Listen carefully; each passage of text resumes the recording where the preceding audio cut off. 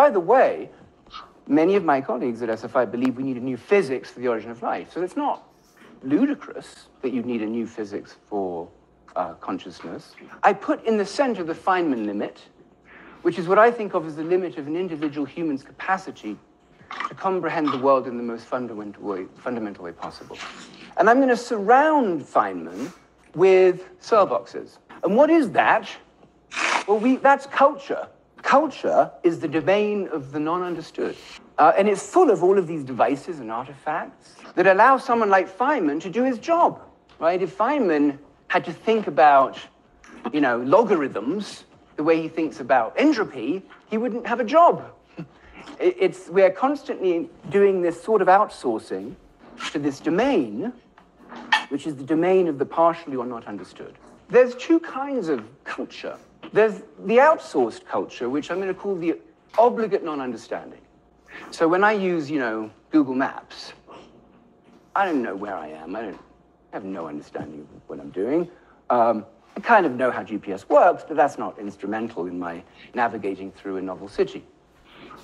And so that's obligate non-understanding. But there is this very interesting space that I think John was alluding to, which is, I'm going to call the domain of generalized automaticity. And this is this world, right, where you have a Federer who can play beautiful tennis, who's not thinking about it, but who can explain what he did when asked. Right? As opposed to using a GPS where I couldn't really tell you. So you do both. It's kind of this magic intermediate zone where you get to do this outsourcing like thing, but you actually can also reflect on it. The way I've been studying this is by studying these things number systems, the abacus, maps, uh, mechanical scientific instruments. I call these, um, it's a little bit building actually on the work that David and, and Andy Clark and others did. I call these um, complementary cognitive artifacts, and have been trying to develop a theory for how these kinds of machines work with minds. So during COVID, we all developed weird habits. Mine was Rubik's Cubes, and uh, I started studying the best Rubik's Cubes solvers in the world and trying to understand how this works, both sighted and blindfolded. So there's the Rubik's Cube, that's the standard cube. Uh, he invented the cube an architect in 1974. 43 quintillion configurations It's in huge configuration space. It turns out that this cube has something called a God number, which is the maximum number of twists or generators of the group uh, that necessary to be implemented starting from the worst possible initial condition. And you solve it using algorithms. There are on the order of 10,000 algorithms. Good cubers memorize thousands. The, current world champion, you can give him 65 3 by 3 by 3 cubes, put them under a blanket, remove the blanket, have him studying, he solved 63 in under an hour, blindfolded. And it's very interesting the algorithms used to solve that task. I'm interested not so much in skill, but expertise. So that's the, that's the Cayley graph. This is a massive structure. When you twist a face, you're basically moving along an edge in this massive graph. The cube is one of the only cases I know of um, a puzzle where the solution to the puzzle is a solution to a mathematical problem that still has no analytical solution. The calculation of the diameter of the graph is actually a very hard problem to solve. There are approximate solutions to this. But actually, when you solve the cube, you're solving a math problem.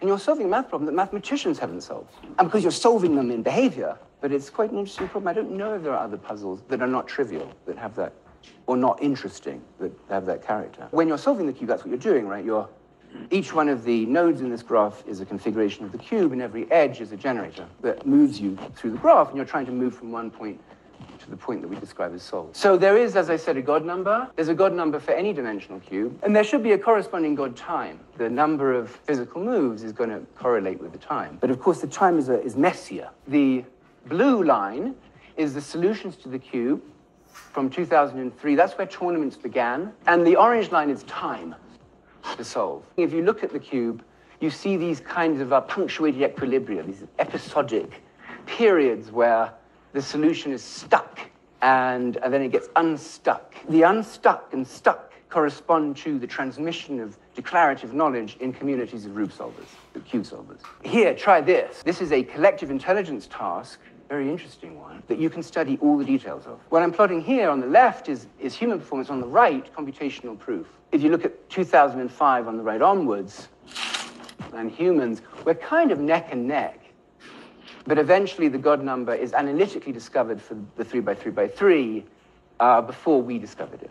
So no real competitor now would ever solve a cube in more than 20 moves, often less. And that's actually part of the problem for how you make fair competition, right? But what is that blue line? That blue line is these people. That blue line is actually an integration of a collective. I call it the three collective. Every cube has a collective.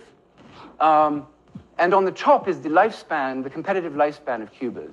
So you can decompose these cubes not only into how long it took, uh, how many moves it took, but who did it. And how do they do it? They do it by sharing information on fora, which encode recommendations which individuals deposit and that other people extract. You can trace the origin of the invention and the diffusion. Everyone having seen that little trick now adopts it very fast. It's very declarative, but it's not clear who understands. If you solve the cube blindfolded by commutators, these are these moves that only move two pieces and leave the rest of the cube unchanged. It's not clear you really understand how that works, but you definitely acquire the information algorithmically. So it's not an innate thing, it's definitely transmitted through a symbol system and an algorithmic rule system, but very, very few people understand why they work. The consequence of this is something very shocking. Here's the performance over time in terms of the solution times for every cube, and you can do something kind of interesting is you can say, look, they all look rather similar, these curves,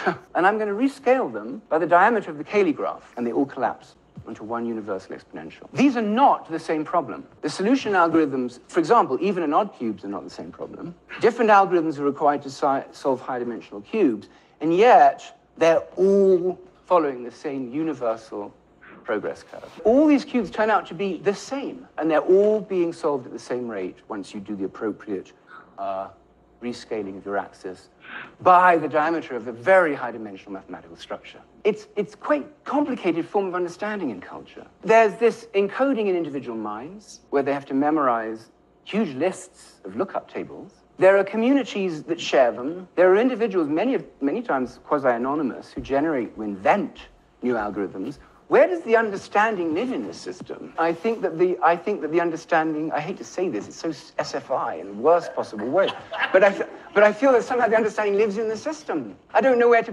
put the sort of the, the, the, the core causal contributor. I, it feels to me it's kind of in here somewhere, messy ways. There's a kind of understanding I call the Feynman limit. People seem to find beautifully uh, aesthetic, highly compressed representations of universal regularities that appear in multiple different phenomena. We've also done this thing about outsourcing and a sort of generalized automaticity where we put solutions out into the world, into culture, which we exploit, that they don't understand, and they don't understand because if they tried to, they would have no time to do any work. The real key to this is a kind of electromagnetic spectrum. There's a kind of core, the, the innermost ore of the onion, which is the thing where we feel most comfortable about talking about understanding, I feel. And then there are these infinite shades of occlusion as we move out into culture whose extreme is large language model. total opacity by virtue of dimensionality. I think what we need to do is fill out the spectrum and uh, not dichotomize it in rather uninteresting ways. Because, of course, something like a map is somewhere in between. I think that would be a program I'd be interested in pursuing, this